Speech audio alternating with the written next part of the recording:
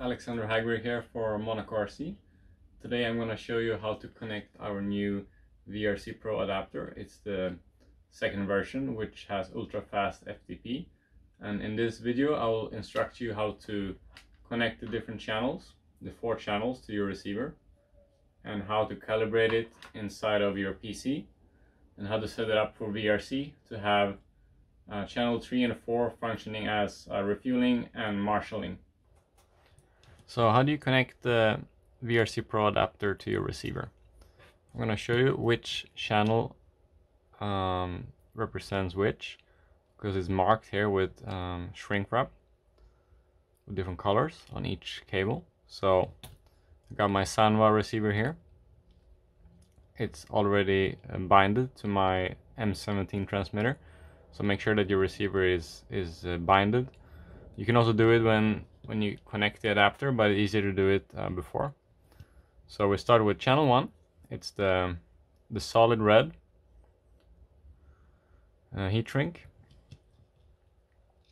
Goes into channel 1 in the receiver.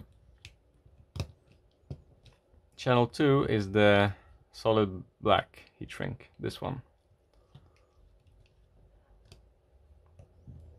It's a bit of a tight fit in the Sanwa. And the third channel is the black and the red uh, together. So third one. And the fourth one is missing heat shrink, so it's got no color. And that's it. That's all connected. You then need a mini B to USB data cable. So this kind of cable, um, it's, of, it's often supplied with cameras or those kind of devices. So it's likely that you'll have one at home. If not, they're very cheap on Amazon. And you simply connect it to the receiver, to the VRC adapter here. And the USB goes into your PC. And now we're gonna move on to the next step, how to calibrate the adapter. So before we calibrate the radio against the VRC adapter in Windows, we have to set up certain things on the radio. So in this case, I'm using my Sanwa M17, which is a really popular radio. And uh, a lot of you that use this radio, you will find this video useful. But this guide also applies to other radios, other brands of radios, which you can use uh, the same settings, but you have to, to reach those through different ways, but you have to refer to the product manual. So first of all, we need to make sure that the VRC adapter has the LED on, that it's powered up and is working. This means that it's got power. And the Sanwa receiver, which I'm using, has a blue LED, which means it's binded to my radio. Speaking of which, we need to go into the system menu, into the bind menu, and make sure that we have the response mode set to SHR on all channels. Don't use anything higher than SHR, because this adapter will not work with anything higher than SHR.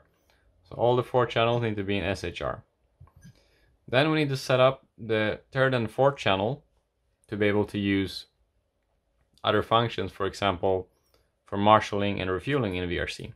And this is a little complicated, but I'll guide you through the process. So first of all, what we need to do is we need to assign the buttons on the radio to channel 3 and 4. And you can choose whichever buttons you want, but in this case I'm gonna use the switch 1 for the third channel. So what do I do? I go, go into system, key assign, switch one, and I choose the function, which in this case I want it to be AUX1. The mode has to be push. So when you push the button, it works as a button which you switch on and off, basically.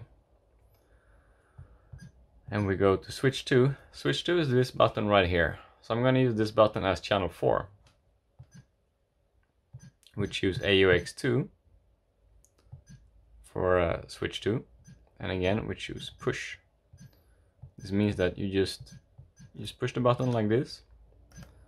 So in this case we push that to have marshalling or refueling, which we're now going to program. So how do we then set this up to work for VRC? We go into settings, you go to channel tree, channel 3 is A1. We need to go into the EPA setting, we need to set the low point, which means the lowest point on the EPA to zero. And we need to do this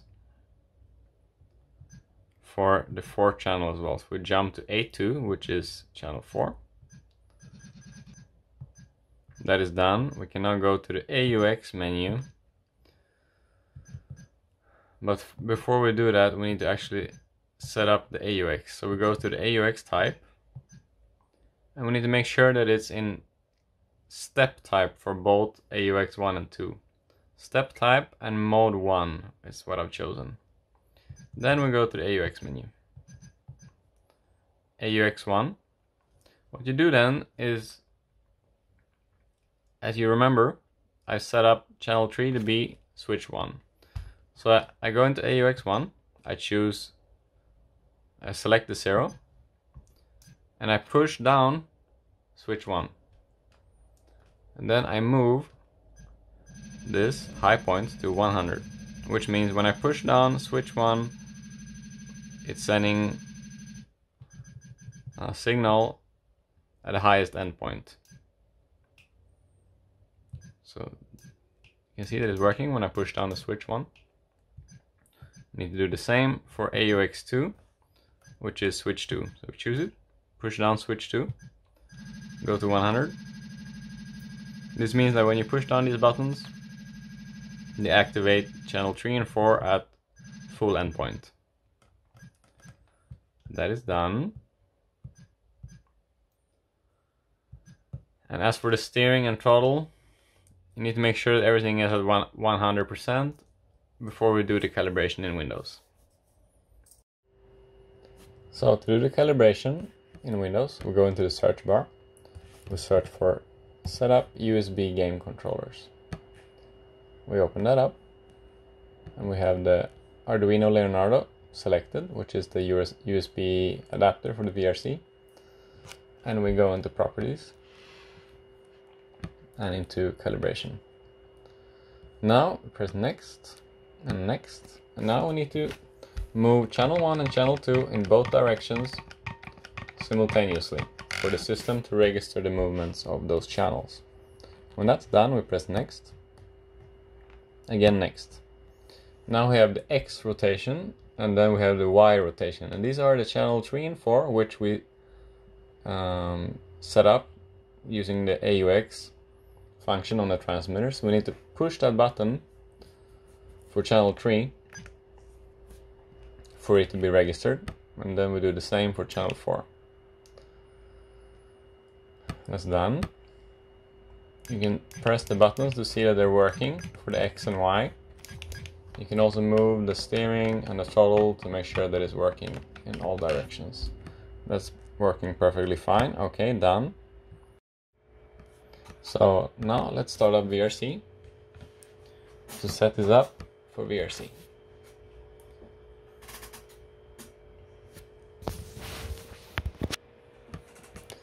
So we go into options, control options, and we can already see that we have the Arduino Leonardo as the chosen controller.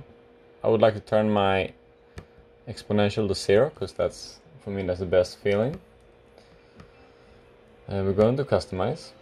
Now we can assign the buttons for the for the channel 3 and 4 which we set up through the AUX configuration. So what we need to do now is we actually need to disconnect the channel 3 from the receiver to trick the receiver into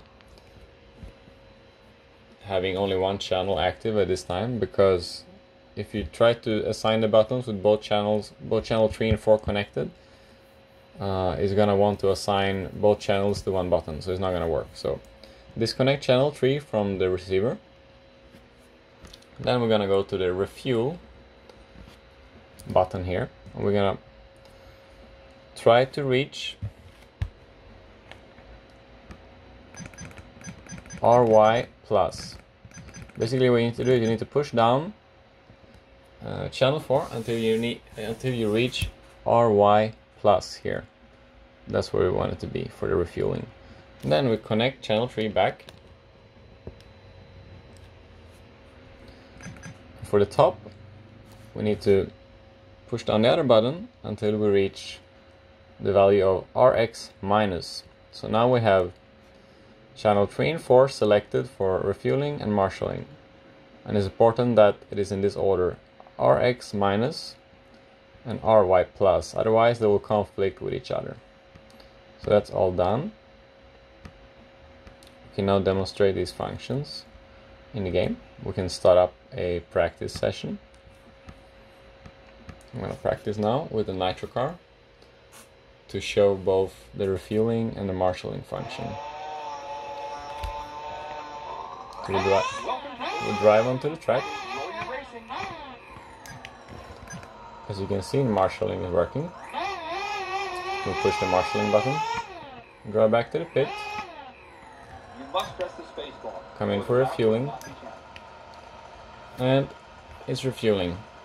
Both buttons are working as they were assigned.